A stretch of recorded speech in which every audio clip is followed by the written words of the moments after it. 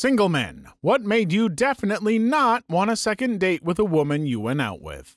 Story 1. Internet dated for a while. Once I went out with a girl that kept talking about her fake ID. I was 23 and she was allegedly 20. Ordered wine and didn't have her ID. Got crappy with the waitress, asked me to get her a drink. By the end of the date, I wasn't sure if she was even 18. Noped out of that date fast. Invited a girl to dinner.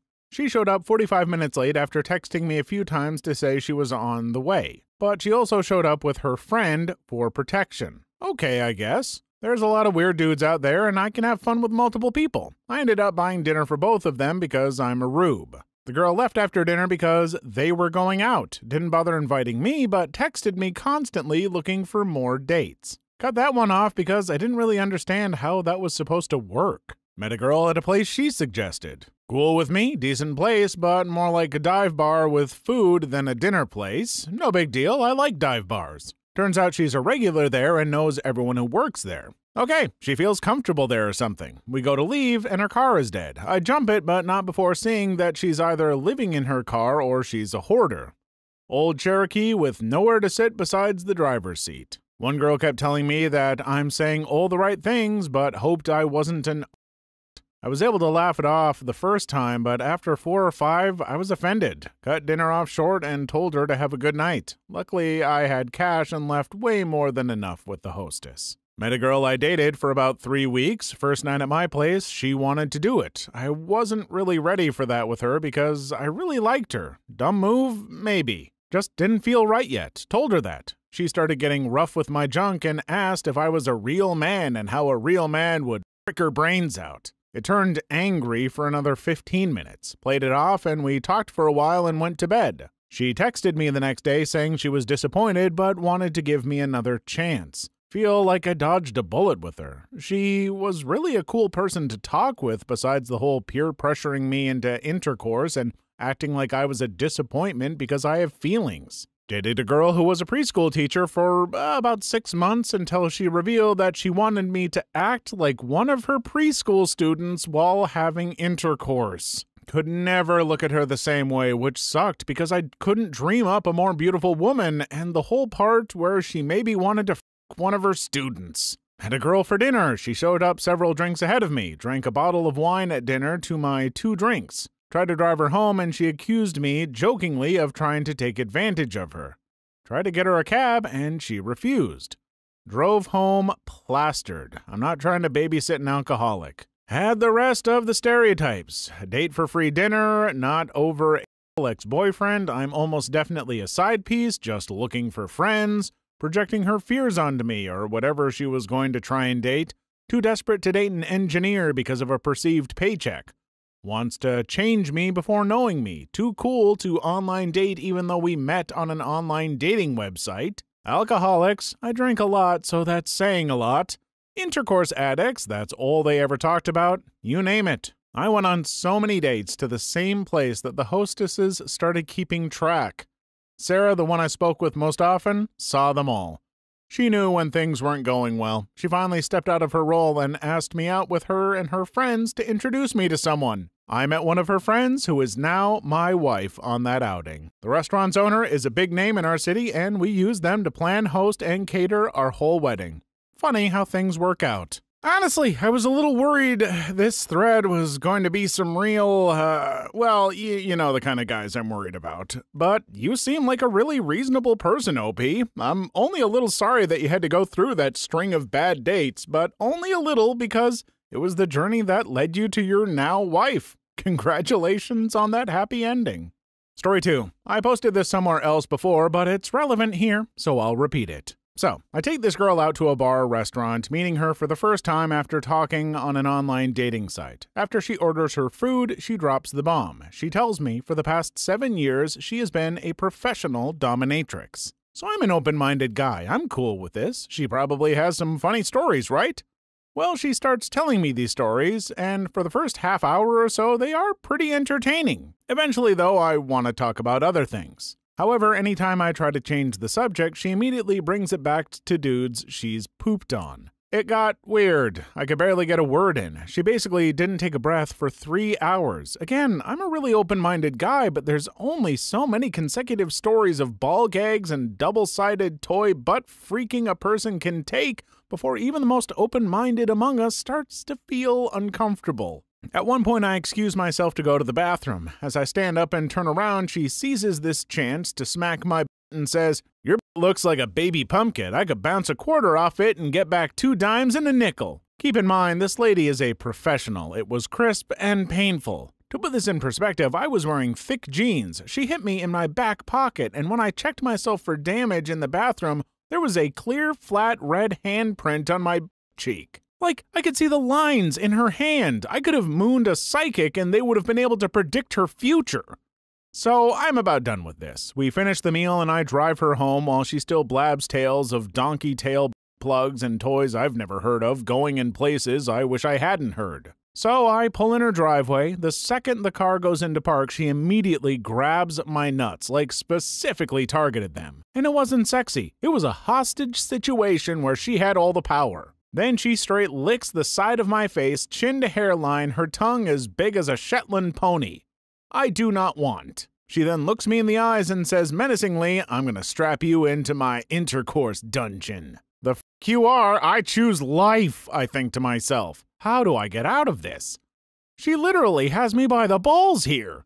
So here's what I come up with. I tell her that, hell yeah, let's do it. I have a special toy I keep in my trunk. Is that okay? She says, Sure, bring any toys you want. So I tell her to meet me at her doorstep while I bust it out because I want it to be a surprise. As she steps out of the car, she gives me a look that she thinks is naughty but is actually terrifying. The second her feet touch the ground, I slam the car in reverse and fly out of her driveway as fast as my car can go. You know how most people pull out of a driveway, switch to drive, then drive off ahead?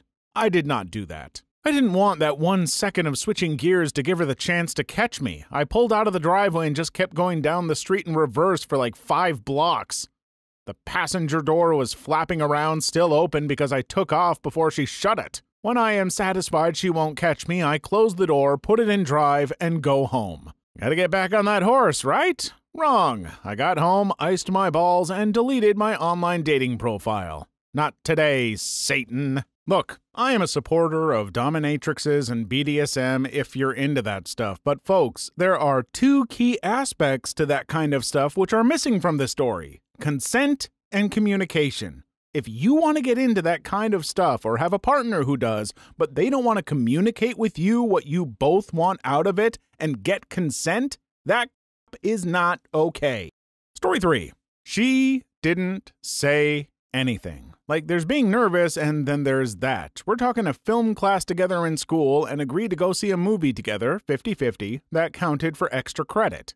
It became clear a few days beforehand that this was turning into a full on date, and I just rolled with it. We were both single, and I thought we could have a fun night out together. I asked if we could get dinner after the movie to talk about it and get to know each other better. She seemed excited by the idea, and I was looking forward to the night. I picked her up, and she was dead silent. She was dressed to the nines for a casual date and was clearly nervous. I did my best to break the ice and run the conversation, and the best I could get out of her was a nervous chuckle and a yep. After the movie, I asked if she still wanted dinner, and she said absolutely, and then proceeded to watch me eat dinner while she stared at me. When I dropped her off at home, she told me she had a really nice time and hoped we could hang out outside of class again. I told her for sure, and we said goodnight. She flat out never said another word to me in class again.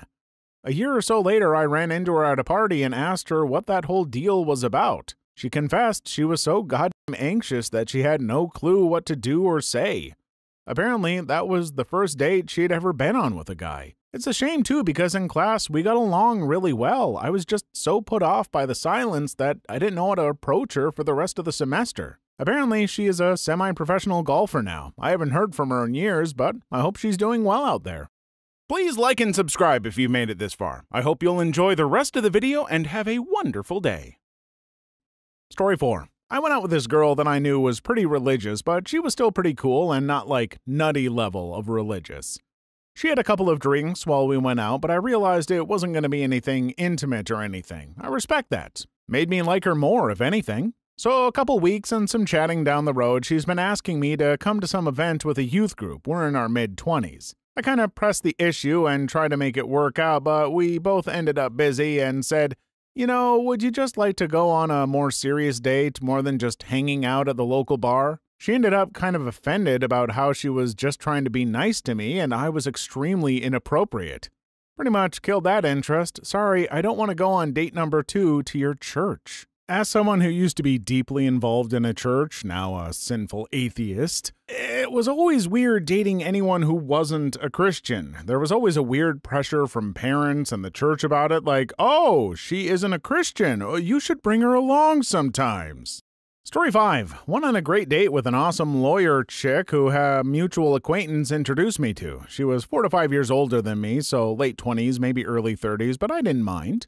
We went to the beach and played some volleyball, then went to a local pub and just hit it off. So later she asks if I want to come back to her place for a bit, and so I do. There were pictures of her with some other dude hugging and stuff all over the place. They were obviously in a relationship. Don't know if she had just broken up with him or if she was actually still actively in a relationship, but it never came up and she basically just acted like the framed photos weren't there, lol. Decided to pursue other options, although I still wonder if I'm the weirdo for not outright asking her what the f is up with the pics. Feel like it's kind of on her to explain that and not my place to ask. Story 6. I arrived at her place and she told me to hop in her car as she just needed to drop something off at a friend's house real quick. It wasn't a friend, it was someone she had an appointment to sell these hot oil infusers and their millions of scented inserts to. I sat in a stranger's home for 90 minutes while they smelled them all. She wanted to go to dinner afterwards, and I asked her to please drop me off at the car so I could go home. She has a business to run. Guess it didn't even make it a whole first date. Edit. Holy show, this blew up. One, for everyone telling me I should have gotten an Uber slash Lyft, this was before those things existed, which wasn't all that long ago. Two, she was selling Scentsy, Three, I never knew that slash anti MLM was a thing. Makes sense that it is. I'll have to drop by sometime and say hello. Story 7. She spent a good chunk of the date talking about previous bad dates she had been on recently. She went into pretty good detail about the most recent one from a week prior to our date about how the guy was obnoxious, invited her back to his place despite an apparent lack of chemistry, and was having a hard time taking no for an answer, etc. I could go into more detail because I know all of them, but the whole time she was telling me about these bad dates ad nauseum, I so badly wanted to interrupt her and tell her she could add this one to the list, considering she spent the whole time being negative about a bunch of other dates that had nothing to do with me. She asked me the next day if we should get another drink sometime, and I said I was pretty busy. So, no shade. You do you. If you weren't feeling it, you weren't feeling it. But, folks, some of us are bad at first dates. We will talk nonstop about the or most inappropriate stuff endlessly unless we are steered away from it. Beyond the first few dates, we are awesome, but the first date jitters turn us into chattering fools. Feel free to let us know or give us a second chance. Story 8. I was 32, she was 25. She showed up to dinner high as a kite, dropped the word idiot several times loud enough for the people around us to hear. She then got loaded during dinner, ordered an expensive plate, and barely touched it. She also told me I'm stupid for still buying books and childish for listening to music. She also insisted I had to take her out two to three times a week minimum. It was also implied she'd be moving in with me in the near future. She was unemployed and living at home, which honestly didn't bother me. The whole jumping into the deep end did. 20 minutes into the date, I text my friend, Holy crap, turns out she's awful. Story 9. On a lunch date with a very attractive woman who I share a couple classes with, she mentioned that she was in the process of getting a divorce. She seemed to want to talk about it, so I indulged. When I asked why things were ending, she said, He's been cheating on me. That's heavy. How did you find out? Internet history, pauses, leans in and whispers, He looks at XXX. Oh, I know I smiled. Is XXX cheating? It's mental cheating, and my pastor says that's the worst kind. oh, you're serious. Story 10. 1. Suggested we go to the nicest steakhouse in town. 2. When I assumed we would go Dutch or pay for our own, she assumed I was paying because she's just old fashioned. 3. Asked me what my debt to income ratio was. 4, upon learning I had paid off my student loans, demanded that I pay her student loans if I wanted a second date. I drove us to the venue, but I just drove home by myself after paying the bill. Go f yourself, Aaron, you cheap b- Please leave your story in the comments. I would love to make a video on them in the future. Also, don't forget to like and subscribe.